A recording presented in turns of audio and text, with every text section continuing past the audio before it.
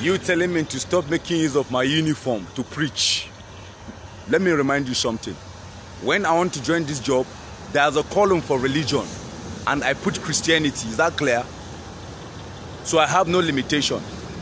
In fact, as a soldier, I'm a preacher. Okay? You can't tell me where and how to make use of my uniform. Is that clear? Even if you take off the uniform from my body, you can't take out what I'm doing. You can't stop me from preaching. Okay? When I'm naked, I preach. When I'm dressing on uniform, I preach. When I'm on civil clothes, I preach. Is that clear? Don't limit me. Okay? I owns the world as you owns it. Are you feeling you are powerful or you are greater than me? Do your worst. You can't stop the gospel of the kingdom of God. I'll keep preaching it. Didn't we pray? I enter churches with the uniform. Keep quiet.